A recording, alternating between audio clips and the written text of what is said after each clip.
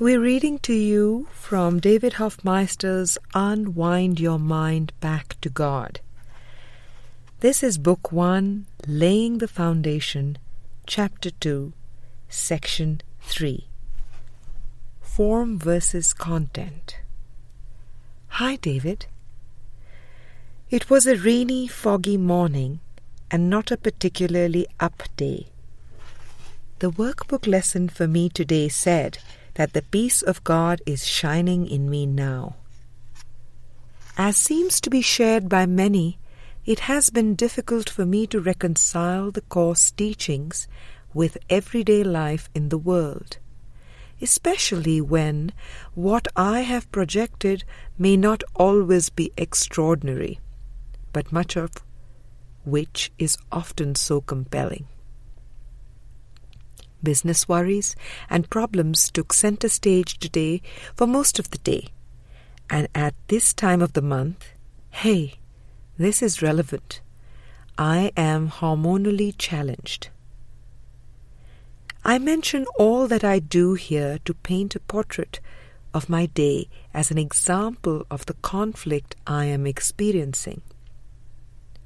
In the late afternoon, the sun seemingly miraculously came out, and I took off on my bicycle toward the path by the river.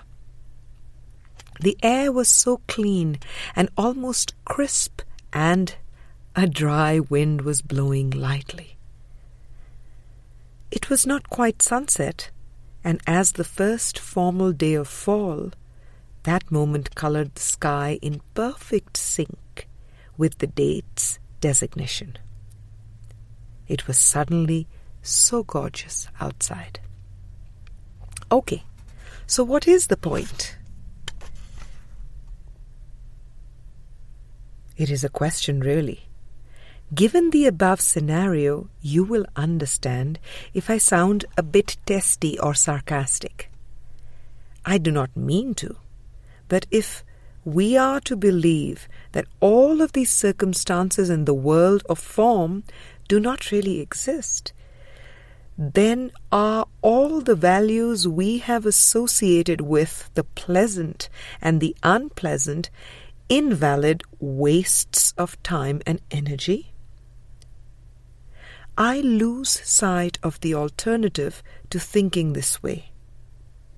Is it as pointless to allow one's self to be occasionally seduced by pleasure and beauty as it is to collapse into fear?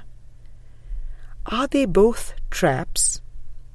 Or are these lovely experiences a glimpse of the even more splendid stuff on the other side?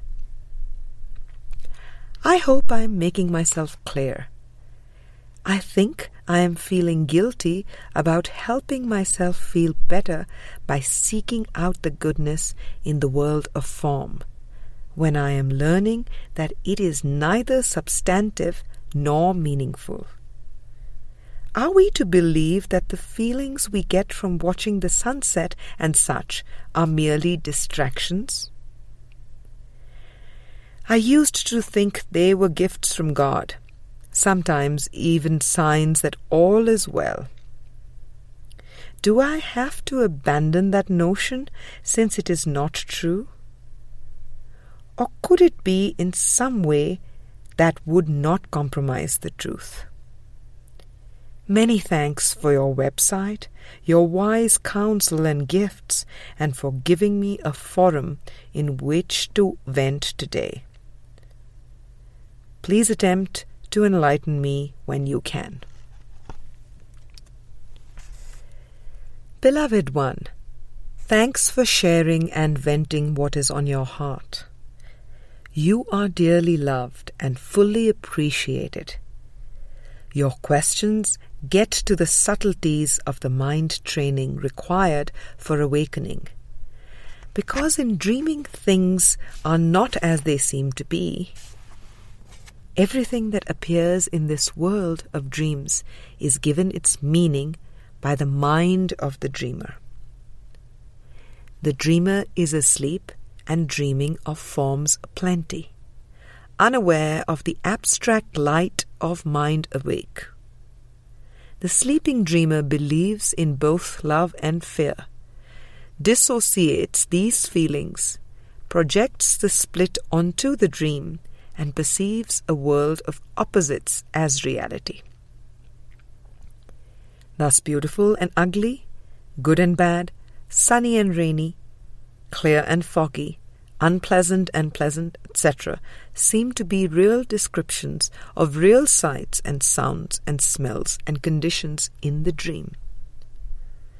There are even spiritual paths that tell students to accentuate the positive and eliminate the negative, as if it is possible to tell them apart. The one right use of judgment in awakening is discernment. How does one feel?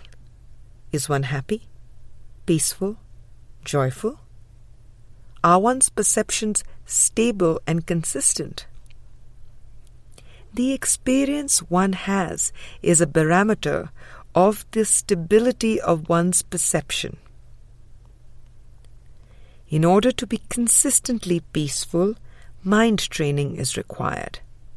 This involves the relinquishment of judgment releasing the belief that one is actually capable of judging anything at all.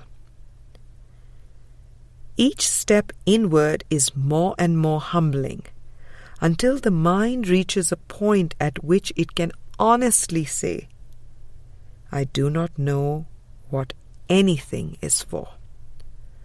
Workbook Lesson 25 this is the point at which the mind can experience the meaning of forgiveness. Be gentle with yourself on this inward journey. Accept the symbols that come to you with gladness and appreciation.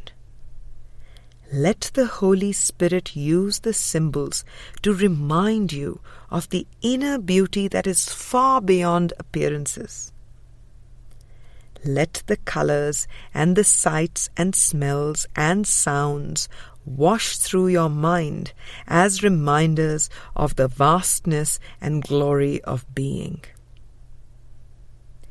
Discover the beauty of the Holy Spirit's purpose. Without judgment are all things equally acceptable.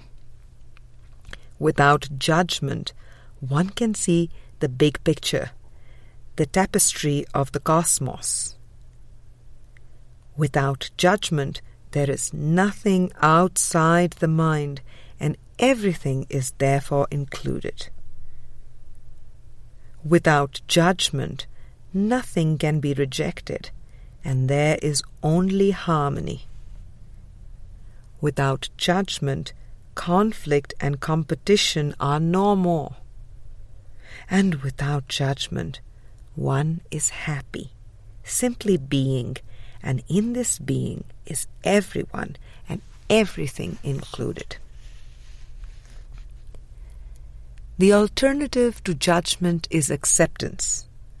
There is another way of looking upon the world, and this new, fresh perspective is worth the mind training that seems to precede it. As self concepts are laid by, so are the expectations and the stress. Behold the world anew and see a forgiven world without agendas and controls and rules. As one is light hearted, one perceives a light hearted world. Notice the synchronicities and the melody and the orchestration of the big picture and observe it all with supreme detachment. There is a joyful passion in beholding all things with detachment. Who one is, the Christ, is truly gorgeous. The opening to this state of being is worthy of the attentiveness to mind training and the opening to the Holy Spirit's purpose. True beauty dawns as content of mind, and as this transformation occurs, all the forms light up and are seen as the same. It takes faith to keep attentiveness to mind training and to be open to miracles. The miracles stabilize and clear one's perception and are truly worth the effort and practice. I am joined with you in miracles and know that every bit of willingness to allow the miracle into awareness is something to rejoice about. As you proceed, the ego's emphasis on form will be eclipsed and transcended by your alignment with the Holy Spirit's content.